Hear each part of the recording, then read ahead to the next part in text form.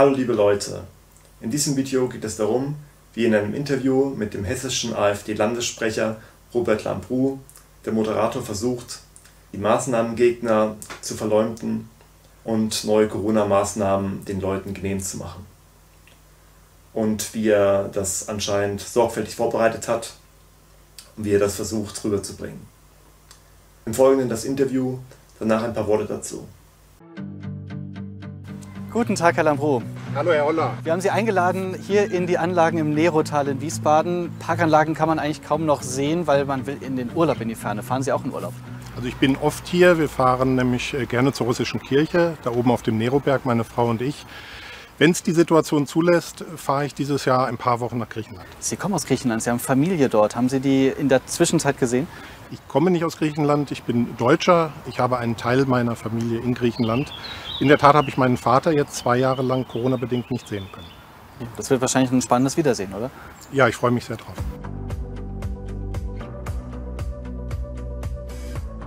Herr Lambrou, Sie haben sich impfen lassen, Sie haben mir gesagt mit äh, Moderna. Das heißt, äh, Sie glauben daran, dass diese Impfung hilft. Was für ein Gefühl haben Sie mit dieser Impfung für Ihre persönliche Gesundheit verbunden? Ich denke, es ist sehr wichtig, dass jeder selber individuell entscheidet, ob er sich impfen lassen möchte oder nicht. Schon aus ethischer Sicht ist es wichtig, dass sich jeder überlegen darf, ohne Druck, ob die Vorteile der Impfung bei ihm selber die Nachteile, Spätfolgen oder Nebenwirkungen übersteigen. Das heißt, Sie sehen die Vorteile. Jörg Meuthen hat sich impfen lassen, der Ehrenvorsitzende Alexander Gauland hat sich impfen lassen. Also viele in der Partei geben sich die Spritze. Warum werben Sie dann unter Ihren Parteimitgliedern nicht noch mehr dafür, etwas für diese Herdenimmunität zu tun, wenn Sie doch davon überzeugt sind? Denn die Impfung ist ansonsten bei Ihren Mitgliedern ja nicht so vogue. Ich denke, dass das in jeder Partei sehr, sehr unterschiedliche Verhaltensweisen auslöst. Die Frage, soll ich mich impfen lassen oder nicht? Und ich hatte eben ja auch schon betont, das ist eine individuelle Entscheidung und die muss es auch bleiben. Äh, ob die Impfungen wirklich die Lösung für die Corona-Pandemie sind, das hoffen wir alle. Aber das wissen wir nicht. Die Politik muss sich auch einen Plan B überlegen, falls das Virus immer wieder mutiert und wir mit den Impfungen nicht hinterherkommen. Es gab viele Demonstrationen, wo auch die Impfung in Zweifel gezogen wurde von vielen Querdenkern. Da waren auch viele AfD-Mitglieder dabei, äh, teilweise aber auch Rechtsextreme, Schulter an Schulter. Sehen Sie da gerne, dass da Ihre Parteifreunde mit dabei sind? Ich denke, dass wir uns mit den Querdenkern nicht gemein machen, aber wir verteufeln sie auch nicht. Bei diesen Querdenker-Demonstrationen laufen sehr unterschiedliche Menschen mit. Da gibt es einige, da muss man wirklich sehr vorsichtig sein. Aber es da müsste man sich doch deutlicher abgrenzen auch, oder? Wir grenzen uns doch insofern ab, dass wir mit den Querdenkern uns nicht gemein machen. Aber noch einmal, wir verteufeln sie auch nicht. Es laufen dort auch viele normale Menschen mit, die zu Recht darauf hinweisen, dass die Einschränkung von Grundrechten etwas ist, was die Politik nicht einfach mit einem Federstrich machen kann.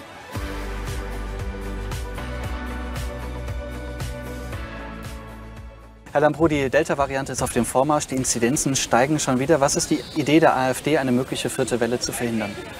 Wir weisen seit Monaten im Parlament darauf hin, dass es wichtig ist, dass die Politik einen Plan B hat. Die Landesregierung und die Bundesregierung, die sind all in gegangen mit den Impfungen.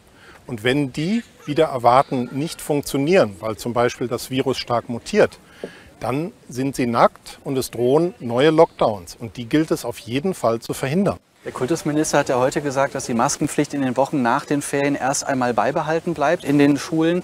Dreimal müssen die Schüler getestet werden. Ist das nicht? Aus unserer Sicht sollte es keine Maskenpflicht in den Schulen geben. Es gibt andere Möglichkeiten, wie zum Beispiel mit den Luftfiltersystemen, dass die Leute in den Präsenzunterricht gehen können und keine Masken tragen müssen. Ihr Parteifreund Björn Höcke, der hat Ihre Jobs in äh, Thüringen, die Sie in Hessen machen, der hatte in einem Sommerinterview bei den Kollegen vom MDR vor einem Jahr gesagt, Corona ist vorbei und Corona kommt nicht äh, wieder. Der Mann lag bekanntermaßen daneben mit dieser Einschätzung. Äh, warum soll man äh, so eine Partei wählen, wo solche Politiker diese Grundlagen nehmen, um Politik zu machen? Wissen Sie, in jeder Partei gibt es zu Corona sehr unterschiedliche Ansichten. Und die Meinung, dass Corona im Sommer letzten Jahres vorbei war, hat letztendlich auch die hessische Landesregierung vertreten, die sich im September 2020 dafür hat loben lassen, wie toll sie das gemacht haben. Und nicht mal einen Monat später mussten sie wieder über Lockdowns sprechen. Dennoch war so eine Aussage wahrscheinlich falsch, oder? Aus heutiger Sicht würde ich sagen, sollten wir vorsichtig damit sein, einzuschätzen, wann die Corona-Pandemie vorbei ist. Wissen Sie, das ist nicht wie das Finale einer Europameisterschaft. Und ich fürchte, dass uns Corona noch länger begleiten wird. In zweieinhalb Monaten, da ist die Bundestagswahl. Wir schauen mal ganz kurz auf die Umfragezahlen im RTL-Trendbarometer von äh, Forsa. Da kommt die CDU auf 30 Prozent, die SPD gerade mal halb so viel, 15 Prozent. Die Grünen sind bei 19 Prozent. Äh, die FDP hat 11 Prozent, die Linke nur 7 und ihre AfD, die äh, ist von 9 auf 10 Prozent, der ist wieder geklettert. Sie sagen immer, dass Sie eine bürgerliche Politik machen. Was heißt das eigentlich? Bürgerliche Politik bedeutet zum Beispiel, dass wir nicht ohne Not Grundrechte aufgeben, wie das von den anderen Parteien leichtfertig ähm, äh, propagiert wird. Wir sind die Partei, die dafür einsteht, dass Grundrechte jedem Menschen zustehen, und zwar unabhängig von seinem Verhalten, unabhängig davon, ob er geimpft ist oder nicht. Ähm, was viele Bürger interessiert, das ist die Frage, wie teuer ist denn meine Wohnung? Die meisten Menschen mieten äh, ihre Wohnungen. In großen Städten findet man keine zu bezahlbaren Preisen. Dennoch lehnen sie Mietpreisbremsen ab. Äh, sie lehnen äh, Sozialwohnungen dann ab. Warum? Wie kann man dann wenn es die AfD denn äh, gäbe oder wenn die AfD regieren würde, äh, wie könnte man sich dann noch eine bezahlbare Wohnung leisten?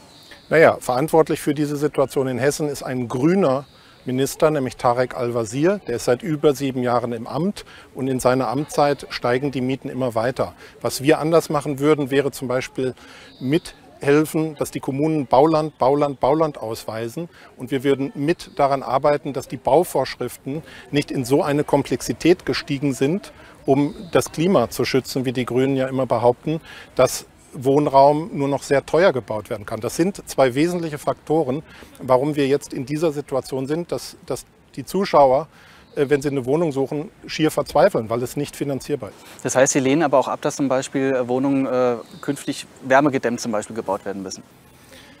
Wissen Sie, es gilt, ein gesundes Mittelmaß zu halten. Die Politiker sind gewählt worden, damit sie den Bürgern ein, ein gutes Leben ermöglichen. Es kann nicht sein, dass Politiker dafür sorgen, dass die Bürger in diesem Land keinen bezahlbaren Wohnraum mehr finden. Es gibt ganz viele Themen, die man vor dieser Bundestagswahl noch besprechen könnte. Klima, Energie, dafür fehlt uns heute die Zeit. Aber wir gönnen uns noch mal 60 Sekunden für eine Schnellfragerunde, möglichst viele Fragen. Sehr gerne. Wie viele Freunde haben Sie durch Ihr Engagement bei der AfD verloren? Sehr wenige, allerdings einen meiner besten Kumpel. Ähm, wie viele echte Freunde haben Sie durch die AfD gewonnen? Einige, denn ich habe in der AfD viele sehr, sehr interessante Menschen kennengelernt. Wo gewinnt man Wähler, im Netz oder auf der Straße? Aus meiner Sicht auf der Straße. Der Politiker lebt vom Kontakt mit den Menschen. Glaubwürdige Politiker verkneifen sich Luxus, ja oder nein? Ja. Das heißt, sie gönnen sich gar nichts? Ich äh, versuche bodenständig zu bleiben, weil in der Tat in der Politik es sehr gefährlich ist, dass man die Bodenhaftung verliert. Und das möchte ich bei mir vermeiden. Mein Rezept gegen Corona-Pfunde. Da ich in der Corona-Krise zugelegt habe, habe ich da kein wirkliches Rezept. Ich freue mich aber, dass die Schwimmbäder wieder auf sind und habe den Kampf gegen die Funde aufgenommen. Das kann ich mir nie verkneifen. Ab und zu was Süßes. Italien ist verdient Europameister, ja oder nein? Aus meiner Sicht ja, denn sie haben den besten Fußball gespielt. Darüber hinaus freue ich mich darüber, dass eine Mannschaft gewonnen hat, die nicht vor dem Spiel niederkniet, weil Politik hat in der Sport nichts zu suchen. Das heißt, Sie fanden auch die Regenbogenfahnen auch daneben? Grundsätzlich finde ich Regenbogenfahnen okay, aber nicht als politische Aussage im Stadion, denn Politik hat im Sport nichts zu suchen. Okay, vielen Dank, Herr Lambrou, für das Gespräch. Gehen wir die Fragen des Moderators Stück für Stück durch. Sie haben sich impfen lassen, Sie haben mir gesagt, mit äh, Moderna. Das heißt, äh, Sie glauben daran, dass diese Impfung hilft. Was für ein Gefühl haben Sie mit dieser Impfung für Ihre persönliche Gesundheit verbunden? Der Moderator streut am Anfang eine Bemerkung ein, die sehr wahrscheinlich nicht zufällig ist. Er sagt, sie glauben, dass die Impfung hilft. Es scheint zunächst überflüssig. Ja, selbstverständlich hilft eine Impfung. Sie wurde ja schließlich getestet und sie hat die Prüfungsphasen durchlaufen. Wenn Lambrou denkt, die Impfung hilft, das heißt, dann findet er es gut, sich zu impfen, dann soll es alle gut finden, sich zu impfen, alle AfD-Mitglieder, und dann soll es die ganze Bevölkerung gut finden. Das heißt, es wird eine Art Gruppendruck aufgebaut mit diesem Statement. Das heißt, wenn Labrou diese simple Frage bejaht, erzeugt er ungewollt einen Gruppendruck. Lambrou antwortet dann aber bewusst differenziert. Ich denke, es ist sehr wichtig, dass jeder selber individuell entscheidet, ob er sich impfen lassen möchte oder nicht. Schon aus ethischer Sicht ist das wichtig. Dass Die nächste Frage ist komplex und lang. Wahrscheinlich wurde sie vorher ausgedacht und kein einziges Wort ist zufällig. Gehen wir die Frage Stück für Stück durch. Es gab viele Demonstrationen, wo auch die Impfung in Zweifel gezogen wurde von vielen Querdenkern. Das zentrale Anliegen der Demonstration war nicht die Impfung in Zweifel zu ziehen, sondern die Corona-Maßnahmen. Um die Impfung ging es nur am Rande. Und die wenigsten haben in Zweifel gezogen, dass die Impfung hilft. Die allerwenigsten. Das hat wahrscheinlich überhaupt keine Rolle gespielt. Jedenfalls mir ist das nicht bekannt. Natürlich war es so, dass die grundsätzlichen Impfgegner von den Medien ganz groß dargestellt wurden. Und die Mehrheit, die eine Wirkung der Impfung nicht in Frage stellen, die Corona-Maßnahmen trotzdem nicht gut finden, sie wurden in den Hintergrund gedrängt. Und genauso macht das jetzt auch dieser Moderator. Indem er das in den Mittelpunkt rückt, schafft er eine Verbindung. Querdenken behauptet, die Impfung würde nicht wirken. Dieses Narrativ wird durch die Erwähnung in den Köpfen der Leute festgesetzt. Je öfter es wiederholt wird, umso stärker. Demonstration, wo auch die Impfung in Zweifel gezogen wurde von vielen Querdenkern. Da waren auch viele AfD-Mitglieder dabei. Das heißt, jetzt wird die AfD damit in Verbindung gebracht. Das heißt, auch die AfD-Mitglieder, die dort waren, sie denken auch alle, eine Impfung würde nicht wirken gegen Corona. Teilweise aber auch Rechtsextreme, Schulter an Schulter. Sehen Sie da gerne das? Querdenken, madig gemacht, Rechtsextreme, AfD, so wird hier eine Verbindung geschaffen. Sehen Sie da gerne, dass da Ihre Parteifreunde mit dabei sind? Und jetzt kommt die rhetorische Frage, sehen Sie gerne, dass da Parteifreunde dabei sind? Aber aus meiner Sicht hat er eine wirklich überzeugende, ausgezeichnete Antwort gefunden. Bei diesen Querdenker-Demonstrationen laufen sehr unterschiedliche Menschen mit. Da gibt es einige, da muss man wirklich sehr vorsichtig sein. Aber es da müsste man sich doch deutlicher abgrenzen auch, oder? Wir grenzen uns doch insofern ab, dass wir mit den Querdenkern uns nicht gemein machen. Aber noch einmal, wir verteufeln sie auch nicht. Es laufen dort auch viele normale Menschen mit, die zu Recht darauf hinweisen, dass die Einschränkung von Grundrechten etwas ist, was die Politik nicht einfach mit einem Federstrich machen kann. Der Moderator lässt nicht locker und fordert die Abgrenzung. Damit sollen die Maßnahmengegner isoliert werden. Die Maßnahmengegner, das sind alles Querdenker und die Querdenker bestreiten die Wirkung von Impfungen. Die nächste Frage ist kein Deut besser. Die Frage ist wieder geschachtelt und jeder Teil ist sehr wahrscheinlich kein Zufall. Herr Lambrou, die Delta-Variante ist auf dem Vormarsch, die Inzidenzen steigen schon wieder. Was ist? Vormarsch klingt nach Soldaten, klingt nach Militär, klingt bedrohlich. Die Inzidenzen steigen schon wieder. Aber welche Bedeutung hat das, wenn die Leute geimpft sind? Es kommt ja auf die Hospitalisierung maßgeblich an und nicht auf die Inzidenzen. Der Moderator suggeriert, ja klar, die Inzidenzen, das ist wichtig. Das heißt, wenn die Inzidenzen hochgehen, dann muss es neue Maßnahmen geben. Es gibt keinen sinnvollen Grund, warum er die Inzidenzen prominent anführt, die Hospitalisierung aber nicht. Was ist die Idee der AfD, eine mögliche vierte Welle zu verhindern? Das heißt, hier wird gar nicht mehr die Frage gestellt, ob man sie unbedingt verhindern muss, wenn die Leute geimpft sind, so wie es Großbritannien jetzt macht, sondern es ist vollkommen klar, sie muss verhindert werden. Und es geht jetzt nur noch darum, welche Idee die AfD hat. Es wird hier wieder das Narrativ verbreitet, es ist klar. Die, es, es muss, die Maßnahmen müssen kommen, es fragt sich nur welche. Es ist vollkommen klar. Und es ist immer das Gleiche. Wenn die Leute das hören von vielen Leuten, dann denken die Leute, ja, das ist so. Dann wirkt es automatisch normal für die Leute, dass es so ist, dass es so sein muss. Obwohl es logisch, jedenfalls aus meiner Sicht, wenig Sinn ergibt. Eigentlich, eigentlich gar keinen. Vor allem, wo ja auch die Versprechung letztes Jahr immer war, wenn die Leute geimpft sind, dann ist natürlich klar, dann ist der Ausnahmezustand vorbei. Auf diese Weise nimmt der Ausnahmezustand aber überhaupt kein Ende. Wie soll es jemals einen Ausweg aus dem Ausnahmezustand geben? Im weiteren Verlauf wird der Irrtum von Höcke in den Mittelpunkt gestellt. Warum soll man äh, so eine Partei wählen, wo solche Politiker diese Grundlagen nehmen, um Politik zu machen? Wie oft haben sich aber Experten wie Lauterbach geirrt? unzählige Male. Und es kommt überhaupt niemand auf die Idee zu sagen, man kann nicht mehr SPD wählen, weil sich Lauterbach geirrt hat oder weil sich andere geirrt haben in der SPD oder in anderen Parteien. Das steht überhaupt nicht zur Debatte. Wissen Sie, in jeder Partei gibt es zu Corona sehr unterschiedliche Ansichten. Und die Meinung, dass Corona im Sommer letzten Jahres vorbei war, hat letztendlich auch die hessische Landesregierung vertreten. Lambrou antwortet dann auch in der Art und hat den Moderator damit kalt erwischt. Trotzdem aber allein dadurch, dass der Moderator es in den Raum gestellt hat und Lambrou es hat durchgehen lassen, dass es legitim ist, ist das immer ein Problem. Natürlich ist es ein Problem für Lambrou, wenn er den Moderator kritisiert, dann wirkt er ausfällig. Und vor allen Dingen ist es natürlich so, man muss es erstmal bemerken. Also mir ist auch erst jetzt bei der näheren Betrachtung aufgefallen, wie krass diese Fragen sind. Wenn man es einfach nur schaut, kommt es einem normal vor. Wahrscheinlich auch, weil wir es gewohnt sind. Wir sind diese unverschämten Fragen, wir sind sie seit Jahrzehnten gewohnt. Früher ging es ja auch anderen Parteien so. Es ist ja grundsätzlich so, dass nicht nur die AfD mit dem Problem konfrontiert ist, sondern andere Parteien auch. Nur trifft es die AfD besonders stark. Die Medien spielen hier ihre Macht aus und wahrscheinlich schon seit langem. Interessensvertreter hinter den Medien wissen das ganz genau nutzen das aus. Früher hat man sich ja bei CDU und FDP auch oft geärgert. Natürlich nimmt es aber jetzt eine neue Dimension an. Aus meiner Sicht war es früher auch schon schlimm, aber nicht so schlimm. Das Problem ist, dass in der Vergangenheit CDU und FDP sich haben immer vorführen lassen damit und leider auch lange Zeit jetzt die AfD. Man kann hoffen, dass es sich jetzt ändert. Dennoch war so eine Aussage wahrscheinlich falsch, oder? Aus heutiger Sicht würde ich sagen, sollten wir vorsichtig damit sein, einzuschätzen, wann die Corona-Pandemie vorbei ist. Dass ein Plan war, den Maßnahmengegner Höcke und die AfD negativ zu framen, zeigt sich dadurch, dass der Moderator eine sinnlose Wiederholung macht. Es ist klar, dass Höckes Aussage falsch ist. Das weiß der Zuschauer ganz genau. Sehr wahrscheinlich hat der Moderator von vornherein geplant, das zu wiederholen, um es stärker zu machen, um es in die Köpfe der Leute reinzubekommen, um das Thema zu halten. Es geht ja immer um die Themenlenkung. Im Folgenden geht es um die Landespolitik und tatsächlich werden die Fragen dann vergleichsweise normal, eigentlich ziemlich normal. So normal, wie ich es überhaupt noch nicht erlebt habe.